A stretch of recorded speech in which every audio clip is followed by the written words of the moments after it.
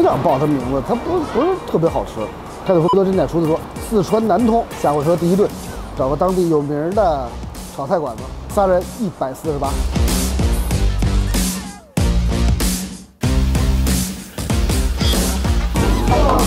干煸肥肠三十五，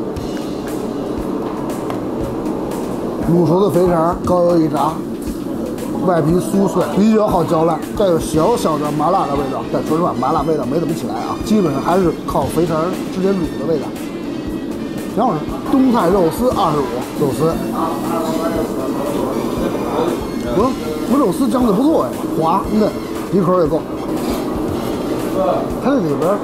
配料是小葱段儿，或者说小葱丁儿，小葱炒的还没塌，进嘴口感嘎吱嘎吱的，配合肉丝这个味道，里边说东菜其实很少，基本上咸鲜的口，突出是一个小葱的味道和肉丝的味道，哎，不错，真不错，肉丝滑嫩，你吃就很顺口，味道还挺挺下饭，别看不带辣味，很下饭，你看，火爆腰花三十五。哦，有点辣味儿，单尝一口腰花。我好了，它这菜打了芡，所以你吃的还会觉得滑、嫩、还滑。但是它里边哎，这配菜青蒜、姜丝、辣椒段，我的天，